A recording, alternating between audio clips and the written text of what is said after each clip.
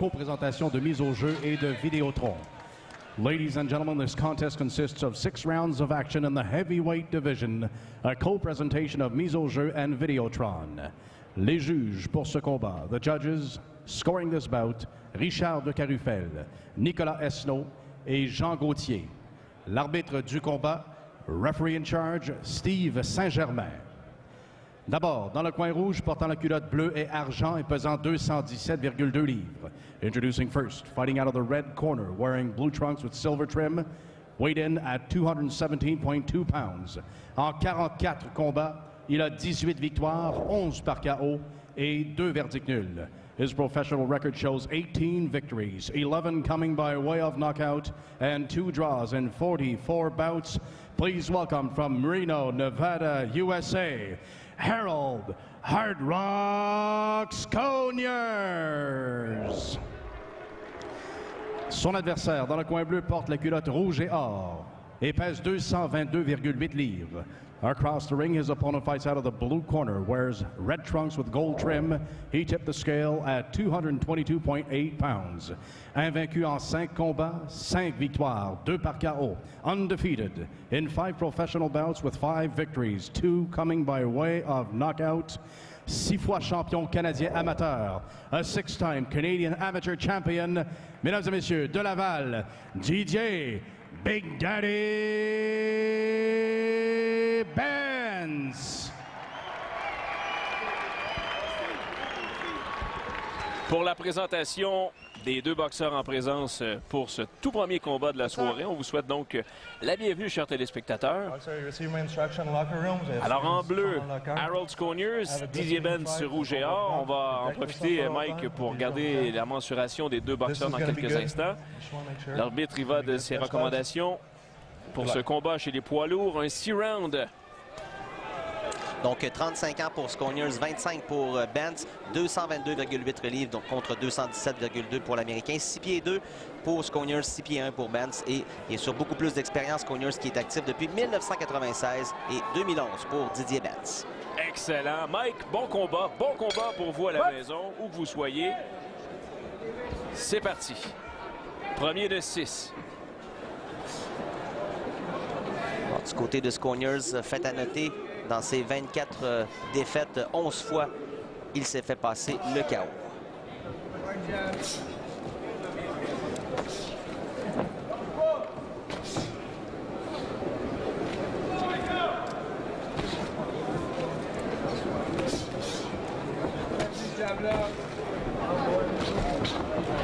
Alors Benz s'empare du centre du ring dès le départ.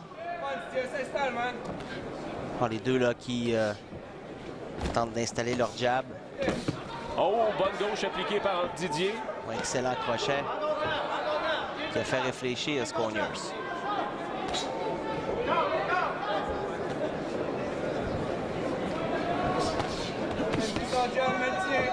Ah, de part et d'autre, on tente vraiment d'établir le direct. Encore la gauche, la droite. Bel enchaînement ici du Québécois.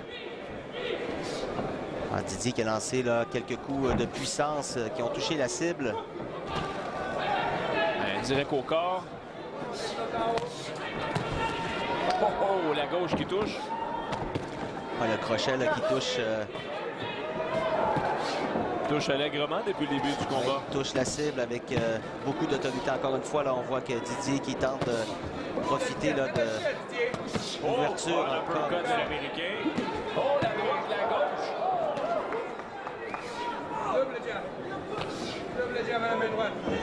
Oh! Oh! Le Québécois est ébranlé. Attention! Attention! Dans les gars, il est plus là. Un! Plus! Et là, il y aura un compte ici, là. Oh, il a été frappé solidement, Mike Didier Benz.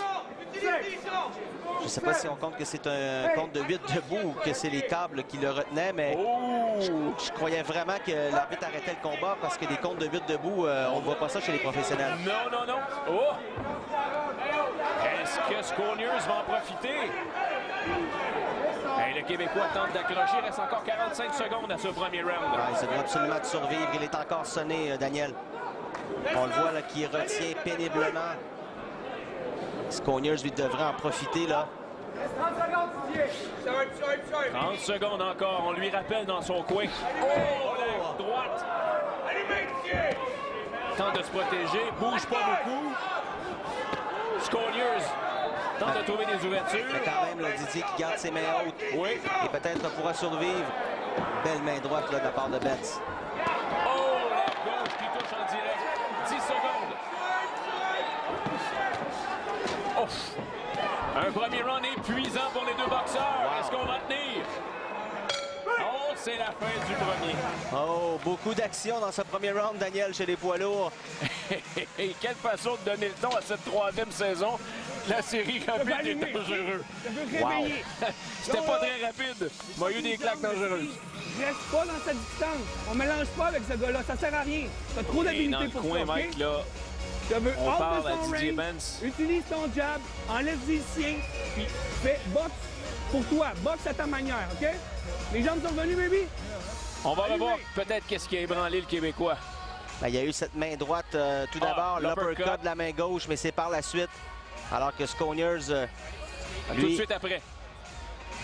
il a absorbé tous les coups de poing de Benz, mais c'est la main droite de Sconiers qui a fait le travail. Benz qui était complètement Ah oui. sonné. Il s'accrochait même contre les câbles. Ah oui, oui, oui. Compte de 8 là-dessus, je suis pas très certain, effectivement.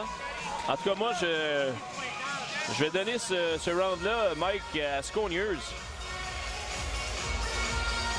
Wow, tout un round de boxe pour débuter. Et euh, Gabi Mancini a donné également ce, premier round à Sconiers. On est déjà prêt pour le début, du deuxième round. J'ai hâte de voir si Didier Benz a, repris, a retrouvé ses esprits. Qu'on va chez les poids lourds prévu pour 6.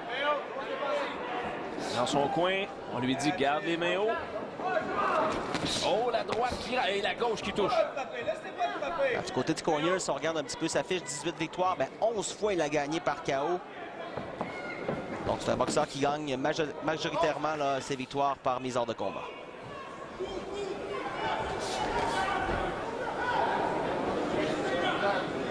Les deux boxeurs qui semblent un peu plus euh, vigilants là, dans ce deuxième round. Avec comment les bons coups ont. Oh, la droite!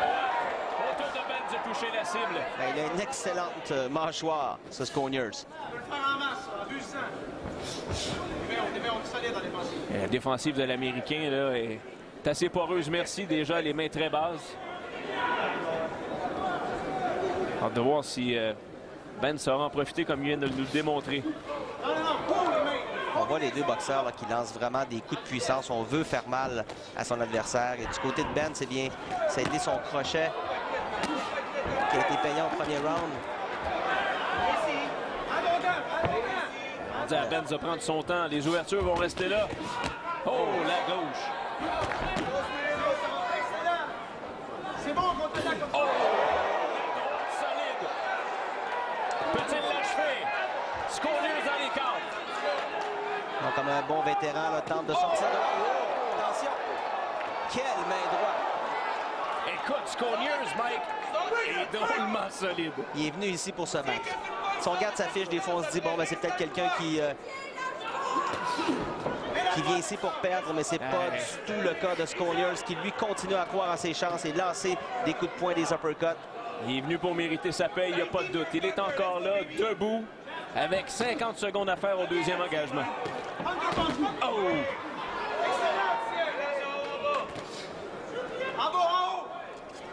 On lui demande de varier.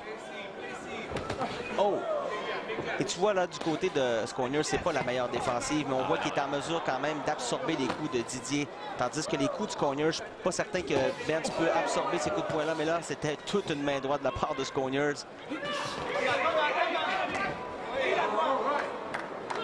Tout un crochet de Benz. Wow, tout un combat.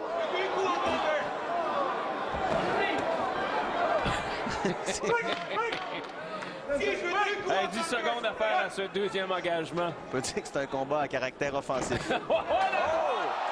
Et Scolieux se retrouve au tapis en fin de deuxième. Attention! Sconiers qui lui dit euh, qu'il est correct. Alors une bonne main droite euh, directement sur le menton. C'est la fin du deuxième. Quel coup de la droite! Wow! Eh bien, Mike, euh, on est gâté en termes d'action depuis le début, hein? Oui, absolument. Alors, un deuxième round, euh, bien sûr, l'avantage de Didier Benz qui a réussi à mettre son adversaire au plancher avec une solide main droite. Ouais, c'est pas reposant, ça.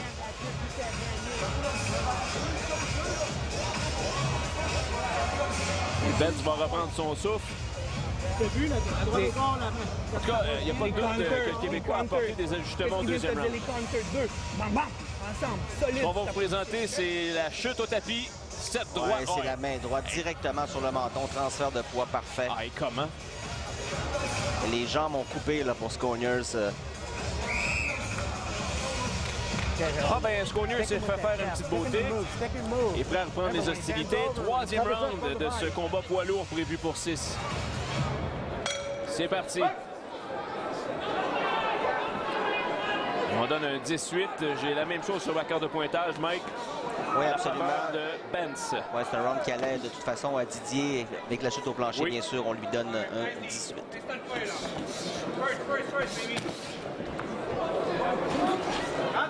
Pas toujours en équilibre, Sconius, quand il lance ses coups. Alors, euh, un style très orthodoxe.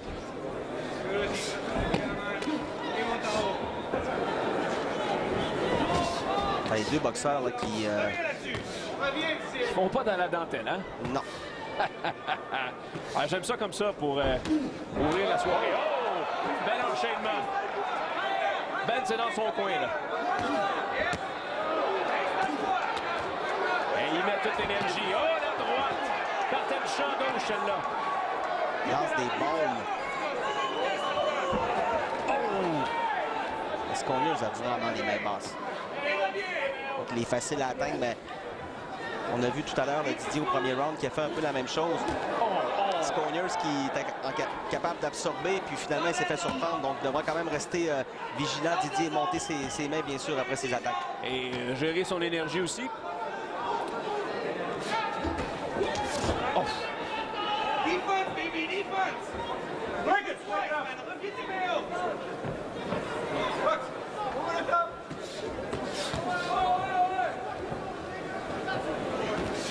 First, first. Oh! la droite. Hey, quel ce Sconiers. Hey, ce sont de méchantes claques qui sont encaissées.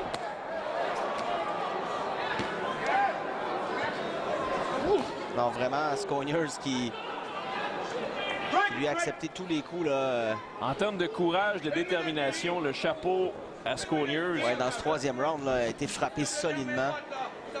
Oh! À la gauche.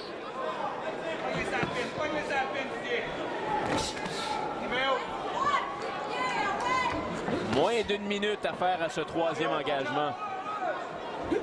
L'uppercut Oh, solide. l'a Oh, oh, oh, oh. Et là, c'est le Québécois qui est en danger. Attention. Il est ébranlé, Daniel. Oh, encore une fois, l'uppercut de l'Américain. Et là, Ben, c'est dans les corps, va devoir bouger. Sans départ. Oh, quel enchaînement. Et là, c'est Scoliers qui est à bout de souffle, qui dépose un genou au sol. Wow, quel combat spectaculaire. Hey, watch me, watch me. Et Scoliers dit, ah, je suis prêt, je suis prêt. Il en reste 10. Oh, encore droite. Il est encore sonné, Sconiers. Et c'est la fin du troisième round. Eh ben, Wow, quel round. Didier qui a été euh, quelque peu ébranlé, mais finalement est bien revenu. Et Sconiers qui a visité le plancher pour une deuxième fois dans ce combat. oui, monsieur. Ah, ben, c'est une belle entrée en matière, hein? Wow, c'est tout un combat chez les poids lourds. Quand le centre bien installé à l'intérieur, une grosse défensive bien solide. Ça doit être très, très solide, mon chum. Solide, Absolument. Les deux boxeurs, là, on voit maintenant, ça va être une question d'énergie. Passe en dessous du shot. Parce que qui va mieux gérer ça? Parce que là, Spence dépense beaucoup d'énergie. On va revoir quelques séquences. L'uppercut. Ouais, l'uppercut là, de Sconiers, c'est... Et la droite par la suite, Benz qui a reculé, mais a gardé quand même ses mains hautes, a repris son souffle et par la suite, là, a réussi à lancer un crochet à une main droite qui a réussi à envoyer Sconiers au plancher. Alors, Didier Benz, on s'attarde encore à travailler dans son coin. Quand on voit la carte de Gabi Mancini, un autre 18. Des ajustements au niveau des gants, je crois. Voilà.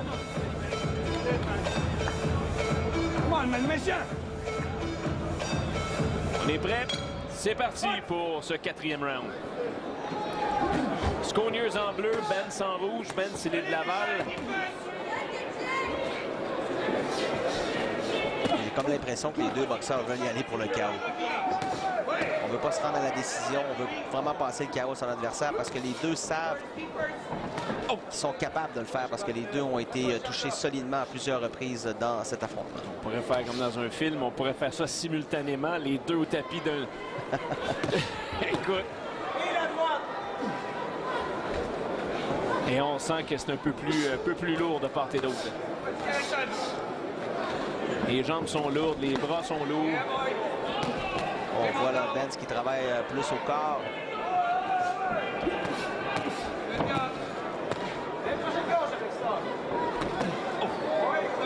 La droite qui perce la défensive. Ce qui est important là, pour Didier, c'est vraiment de garder ses mains hautes, même s'il touche rapide. Il touche quand même facilement là, son euh, rival. Écoute, Sconiers veut rien savoir. Hein. Il a monté un peu sa garde. Il reçoit encore quand même un paquet de claques. Puis il reste droit comme un chêne, enfin presque. Oh, l'uppercut qui rate. Deux boxeurs là, qui semblent exténués. Oh! Alors Benz là, lance ça là, presque à l'aveuglette. C'est Sconiers qui marque avec euh, l'uppercut.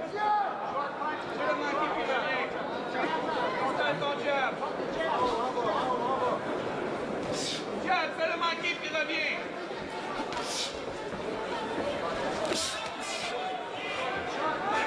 C'est un quatrième round euh, un peu plus effiloché jusqu'à maintenant, comparativement aux, aux trois premiers rounds. En plus de pause en tant que tel, euh, les deux boxeurs qui semblent euh, manquer un peu d'énergie. On peut appeler ça un round de repos. De repos. En tout cas, il reste moins d'une minute à ce quatrième engagement. Il y a quand même les deux boxeurs qui euh, se lancent des coups de poing, mais avec peut-être un peu moins d'autorité. Moins d'autorité, moins de précision. Moins de précision également. Beaucoup de coups lancés. Oh! Et la main droite, et la main droite. Benz a lancé plus- plusieurs coups dans le vide. Mais ça en prend juste un. Ah, dans son fond, on lui dit là, de lancer son crochet puis sa main droite. Ça, ça a été payant là, à la fin euh, du euh, round précédent. C'est ça qui l'a envoyé au plancher. Donc, euh, on lui demande là, vraiment d'y aller en combinaison et de compléter là, avec sa main droite. C'est ce qu'il vient de faire. Quelle droite enchaînée de la gauche. Et Sconieux tente d'en faire encore un peu. Il reste 10 secondes. Oh, oh, oh, oh.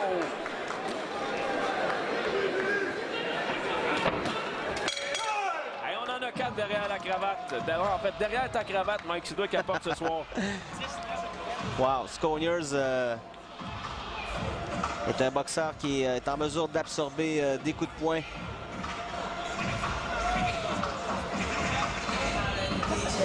Round qui devrait bien sûr aller à l'avantage de Didier Benz. Oui, ben Ben, c'était encore une fois, euh, d'après moi, le plus actif. On va essayer d'écouter qu'est-ce qui se passe dans son coin. Sharp, rapide, on se ligne pas.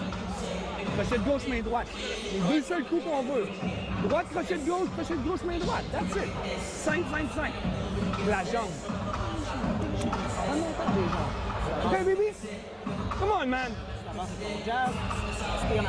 Water. Là, là, t'as t'as essayé là, en là, là, tu mets l'énergie ramasser. OK, là, tu le mets crochet gauche, main droite ensemble. Come on, baby. En tout cas, je ne sais pas si vous avez entendu quelque chose dans le coin. Nous, on a essayé d'être attentifs. Malheureusement, on n'a pas entendu grand-chose de ce côté. Oui, j'ai aussi un 19 à la faveur de Benz. Mike, ça ressemble à quoi de ton bord aussi, c'est ça? Oui, c'est la même chose.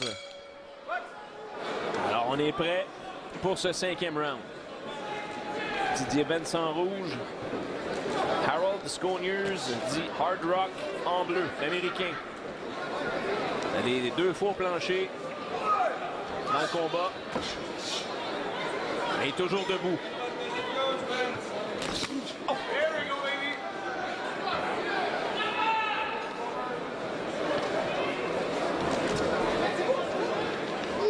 Dire que Sconiers a tout un menton.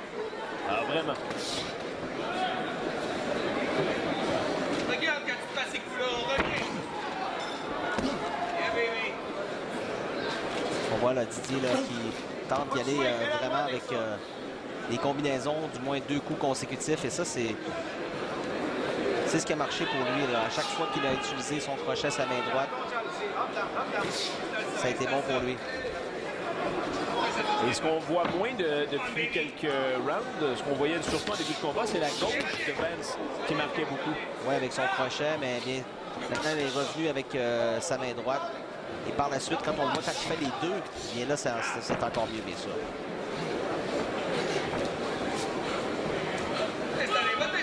Jab. Dans son coin, on lui dit Vas-y avec le jab, impose-toi d'abord avec ça et prépare la suite. On est à mi-chemin dans ce cinquième round, combat prévu pour 6. C'est le premier combat de 6 chez les professionnels ce soir. On aura également un combat euh, amateur caritatif un peu plus tard en soirée.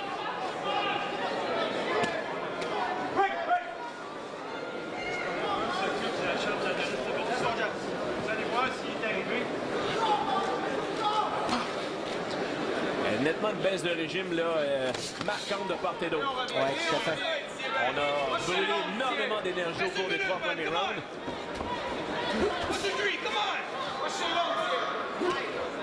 Ah, là, maintenant, qui a son adversaire dans les câbles.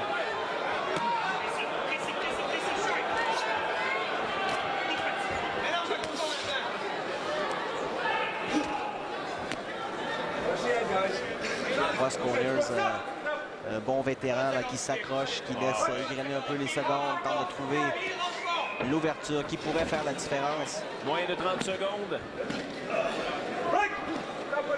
Il rentre pas, man. 20 secondes, Didier. One, two, three, come on, man. Non, non, swing pas. Et là, c'est du corps à corps, littéralement. Là. Et ça devient encore plus dur physiquement parce qu'au-delà de donner des coups, il faut lutter. Oh, l'uppercut qui rate de peu pour Sconiers dans les derniers instants. Et les dernières attaques sont portées par le Québécois. Voilà! Alors, un excellent round pour euh, Didier Benz.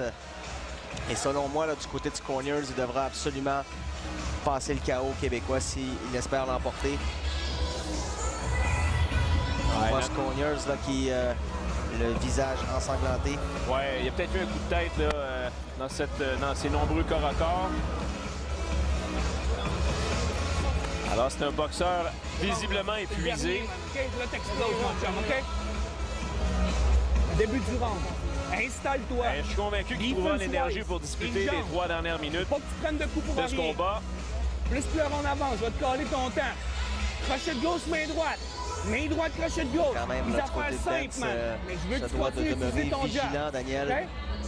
Sconiers qui, euh, C'est selon moi, croit toujours en ses chances de pouvoir euh, l'emporter, du moins par KO, parce que selon ma carte, selon ta carte et celle de M. Mancini, je crois que Benz est confortablement en avance. Donc. Sconiers se doit absolument là, de, de y aller euh, Et vous avez vu comment... pour le KO. tu as vu, Mike, comment Sconier s'est levé lamentablement, difficilement de son coin? Alors, il reste trois minutes à ce combat, ce premier de la soirée. Mais tout un, Daniel. Deux boxeurs qui nous euh, qui sont très euh, explosifs. Un combat extraordinaire jusqu'à présent. on disait en introduction d'émission que ça pouvait l'être explosif et que ça pouvait euh, peut-être ne pas durer la limite. Déjà, qu'on soit rendu au sixième dans ce combat, c'est presque un exploit. Quand même, Sconiers, c'est un bon vétéran. Donc, lui euh, est habitué de faire euh, des rounds. Et du côté de Ben, c'est bien lui. Il a été sonné solidement, donc on va apprendre beaucoup euh, de ça. Il n'y a pas de doute.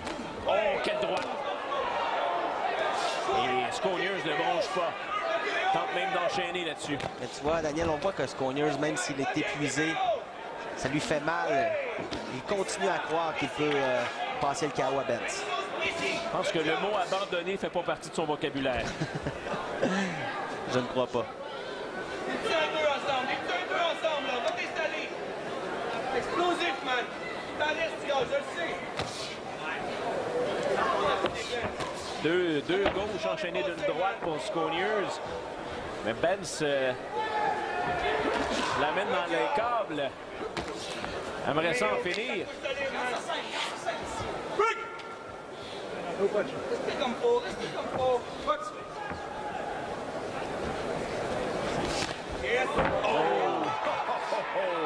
C'était peut-être un peu à l'arrière de la tête, mais une main droite qui a fait mal à Sconiers.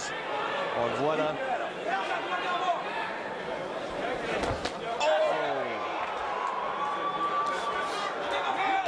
Hey, quelle droite!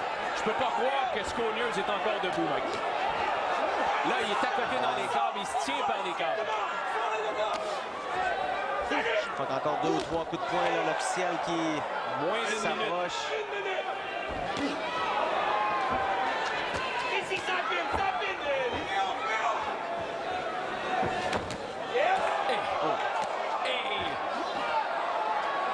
Sconiers refuse de tomber. L'officiel qui regarde attentivement.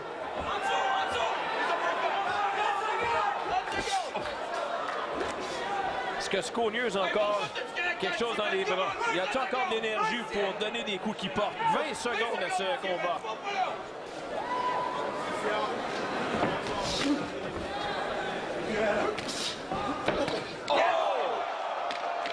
Wow! Bon, est-ce que ça en est fait de Sconiers? Non! Il veut rien savoir. Ah, veut se rendre à la limite. Beaucoup de courage du côté de l'Américain. Wow! Se relève. Et ça va prendre fin là-dessus, Mike. Imagine-toi. Wow, mais quel spectacle pour amorcer cette soirée rapide et dangereuse. Ouais, je pense que les gens ici apprécient. euh, et pour cause, tout un combat chez les poids lourds. euh, entre Didier Benz et Harold Sconiers.